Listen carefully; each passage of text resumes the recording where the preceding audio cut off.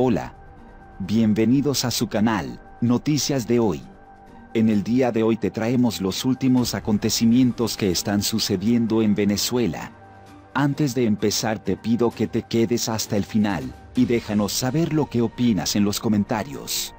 Los inquietantes números que indican que en Venezuela la crisis por el COVID-19 podría ser dramática.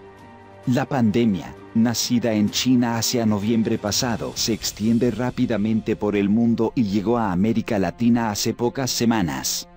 Las noticias que llegan desde Europa, sobre todo Italia y España, son preocupantes, pero dan la posibilidad de prever qué podría ocurrir de este lado del Océano Atlántico si los gobiernos no toman recaudos y medidas drásticas para impedir que el virus se propague sin control.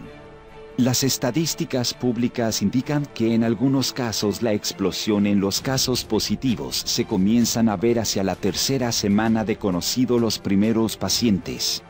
En España, por ejemplo, los enfermos crecieron a un ritmo similar al que muestran Italia y Corea del Sur. Sin embargo, en estos momentos estaría en condiciones de superar esa inquietante curva, esos dos países llevan 10 días por delante en comparación con el territorio español. Pero mientras que en Italia las infecciones continúan acelerándose, en Corea se frenan. Al menos hasta ahora. Hoy, el gobierno de Pedro Sánchez contabilizó 150 nuevos muertos y casi 2.000 contagiados. La preocupación es absoluta, en Venezuela sucede algo parecido en relación a sus países vecinos y regionales, aunque con menos datos a disposición y con una maquinaria de información oficial de muy dudosa confianza. Ayer por la noche, la dictadura de Nicolás Maduro comunicó que había 16 nuevos casos, sumando un total de 33 pacientes con COVID-19.